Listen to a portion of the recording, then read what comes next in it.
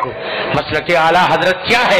शरीयत की आवाज़ का नाम मसल के आला शरीयत के तहफ़ुज़ का नाम मसल के आला हज़रत। शरीयत की पासबानी का नाम मसल के आला हज़रत है। हराम को हराम समझने का नाम मसल के आला अल्लाह। है।